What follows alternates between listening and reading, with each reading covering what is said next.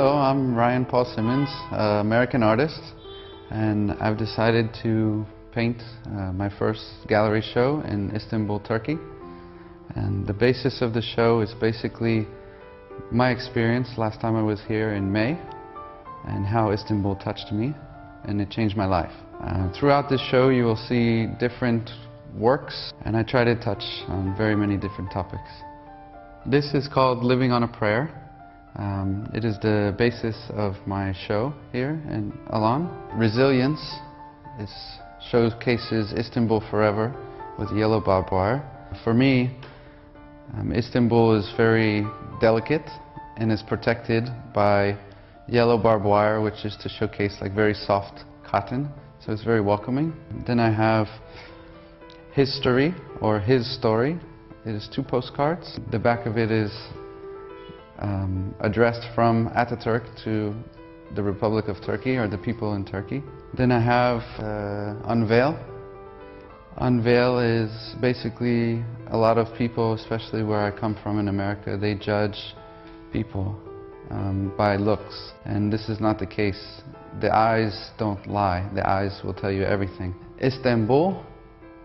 Istanbul is basically a cow. It's a pig and a cow. It's a pig's body with a cow's head and a boar's face. Um, this for me is to showcase the, the separation between the people and authority officials. Bring It Home is basically a traditional American Turkish breakfast for me. There is the American flag inside of the bacon and there is the Turkish crest inside of the egg. There's also a, a, number five in the egg, and there's six pieces of bacon, which is showcasing 1956 when Ataturk's sister passed away. And I was really inspired by the movements of the people in Istanbul because they decided to paint the stairs in the, the rainbow. And the next day, the officials come and paint them gray. You know, they will continue to paint the stairs gray, and we will continue to make them beautiful.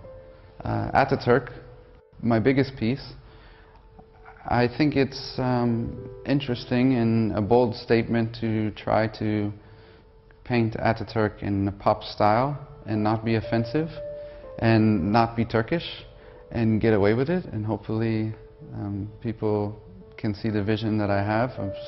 Mainly a showcase of different um, morals and values of different colors from throughout the, the Turkish community. And I put the Turkish map over his mouth to showcase that a lot of people here in Istanbul, you see family portraits on their mantles in their homes. And next to that, you see a picture of Ataturk in a frame. But I want people to realize that his words are, were very powerful, but he's no longer with us. So I wrapped his mouth with the country to showcase that now it's your turn to speak. Don't be scared.